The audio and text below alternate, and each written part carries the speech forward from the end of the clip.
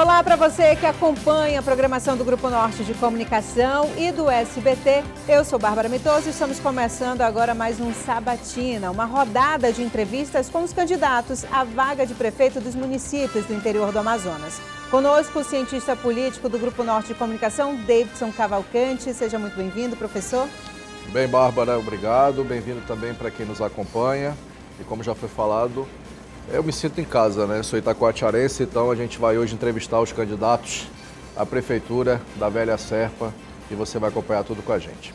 Com certeza. E o primeiro entrevistado a candidato, o candidato a prefeito de Itacoatiara é o Cabo Maciel, do Partido Liberal, que já está aqui conosco. Candidato, primeiramente, muito obrigada pela sua disponibilidade. Vou lhe explicar rapidamente a dinâmica. Senhor tem 10 minutos para responder todos os nossos questionamentos, os meus e os do professor Davidson.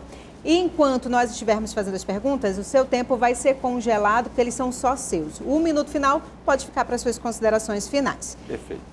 Eu já vou começar logo com a primeira pergunta, o primeiro tema, que é educação, um tema importantíssimo para qualquer município, Itacoatiara não vai ser diferente. Quais são as suas principais propostas para melhorar a qualidade da educação em Itacoatiara? Primeiro, eu quero agradecer a oportunidade. A educação tem passado por muitas dificuldades em Itacoatiara, mesmo recebendo 380 milhões de reais do Fundeb nós não tivemos escolas novas sendo construídas, nós não tivemos 10% eh, das escolas reformadas, não foi pago o Fundeb para os professores. Nós precisamos ampliar o número de escolas novas, modernas e com equipamentos de ponta, dando aos alunos a oportunidade de pesquisar e de fazer seus trabalhos via a rede de internet. Nós precisamos reformar e ampliar novas escolas. Tenho sonho e quero realizar a construção da primeira escola de tempo integral do município de Itacoatiara.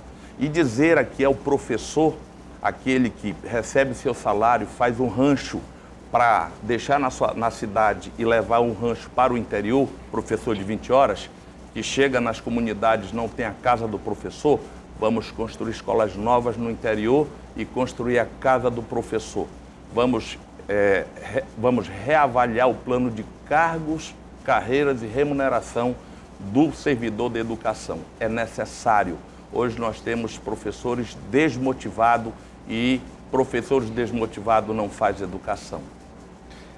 Candidato, essa pergunta é importante. É a sua praia, segurança pública. Eu lembro de Itacoatiara como uma cidade que sempre foi muito tranquila, mesmo com o tamanho que ela tem, com o aumento populacional mas a criminalidade atinge hoje o interior do Amazonas, é preocupante.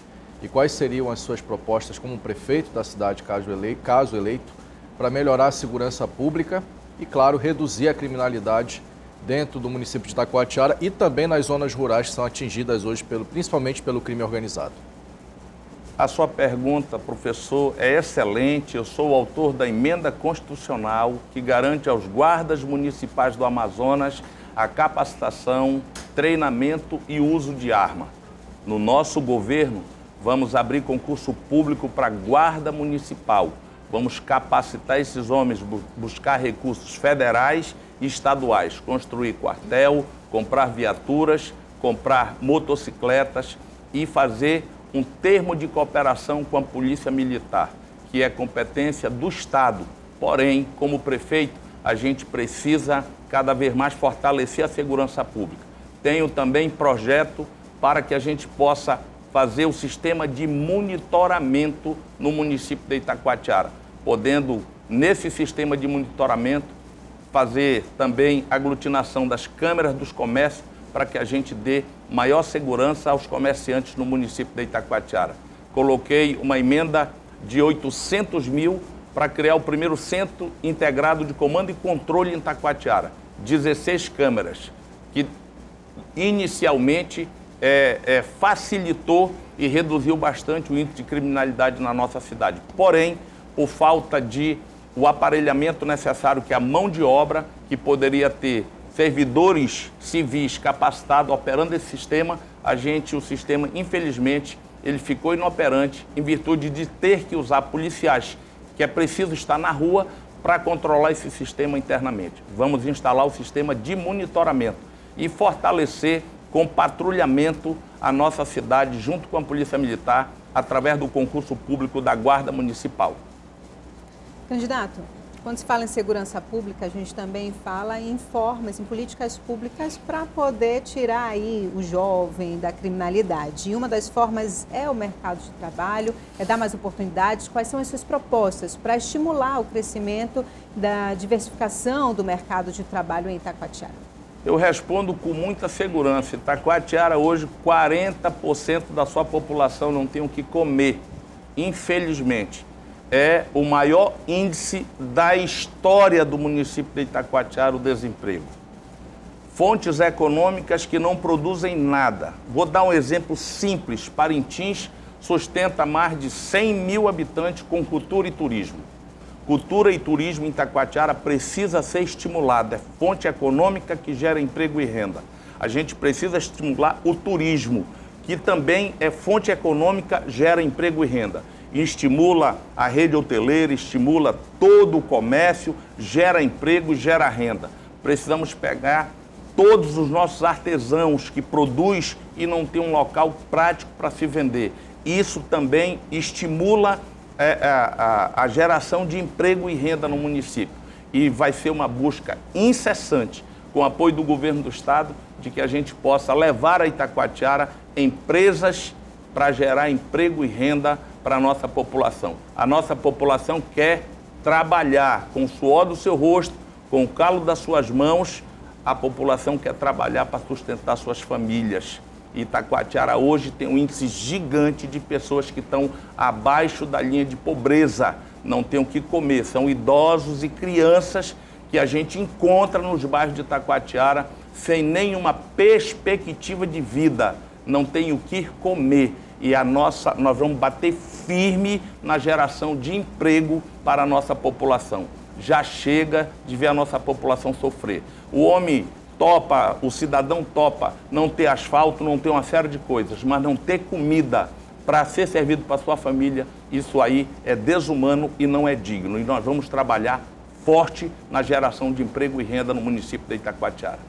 Candidato, aproveitando que a gente está falando de DH, falando de qualidade de vida, Taquatiara, como uma das maiores cidades do interior do estado, com certeza um dos grandes desafios do próximo prefeito é saneamento básico. E aí entra um elemento importante. Cresce o número de periferias, de áreas vulneráveis, e aí a luta por sobrevivência é maior. Saneamento básico, que é um elemento básico de assistência, não se tem. Água potável, por exemplo, esgoto, e principalmente nas áreas rurais, comunidades mais longínquas. O que o senhor pretende fazer, caso prefeito, para mudar essa realidade em Itacoatiara? A pergunta muito pertinente. Você que é interiorano e visita as comunidades, o primeiro ponto de desgaste no interior é água potável. Só nós, como deputado estadual, perfuramos mais de 80 poços artesianos nas comunidades rurais de Itacoatiara levando dignidade, levando respeito e, acima de tudo, fazendo prevenção na saúde. A Taquatiara está num, num dilema que não pode chover meia hora, que grande parte dos bairros alagam. Foi feito um asfalto na cidade de uma forma desordenada, sem colocar os bueiros para socorrer essas pessoas com meia hora de chuva. Nós vamos mudar essa realidade. A gente precisa mudar essa realidade. O governo federal tem muitos recursos, o governo do estado tem muitos recursos. E com essas parcerias que nós iremos buscar com os senadores Omar Aziz Eduardo Braga, com vários deputados federais, nós vamos buscar recursos necessários para fazer saneamento básico em Itacoatiara. Nossa população adoece. Nós temos uma lixeira praticamente dentro de um bairro de Itacoatiara, gerando doenças para a população.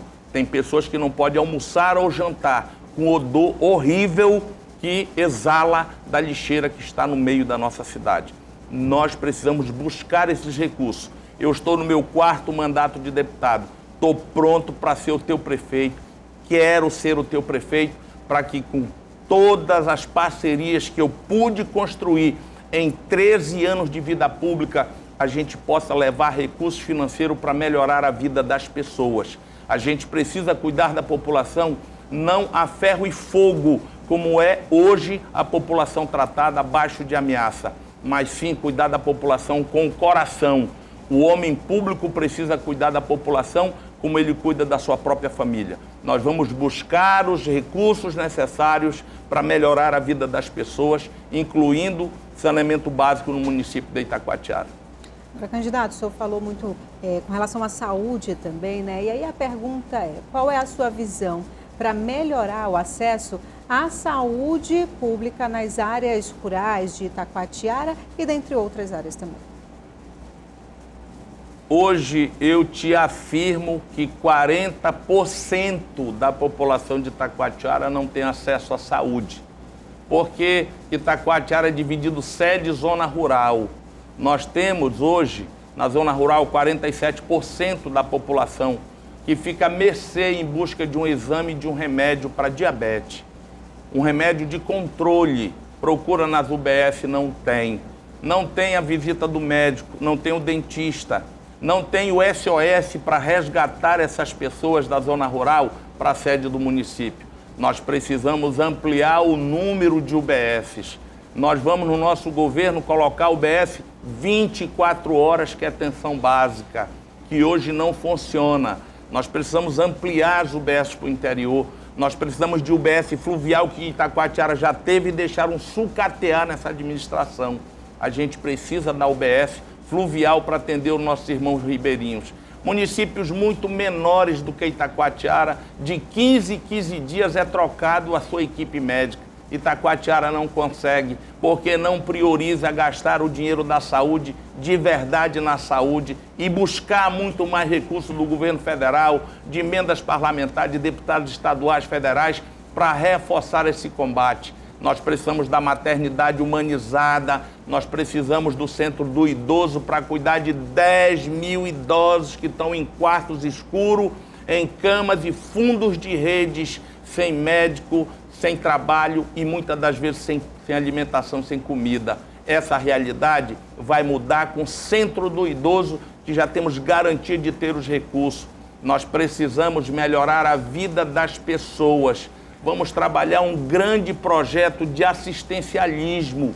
Taquatiara, a gente precisa criar um projeto de assistencialismo para as famílias que vivem vulnerabilidade social total e, ao mesmo tempo, gerar emprego no município. Eu estou pronto para ser o teu prefeito. Eu quero uma oportunidade que foi dada para todos. E todos, quem fez, fez, quem não fez, não fez. Hoje eu estou pronto, experiente, com 52 anos, tenho força política e quero ser o prefeito para realizar sonhos e melhorar a vida das pessoas. O candidato tem sete segundos. Eu quero agradecer a Deus pela vida, saúde e oportunidade. E no dia 6, faça a diferença. Mude. Vote 22. Acabou o seu tempo, candidato. Muito obrigada pela sua disponibilidade, viu? Obrigada mesmo. E você que está nos assistindo, daqui a pouquinho nós vamos trazer aqui outro candidato de Itacoatiara.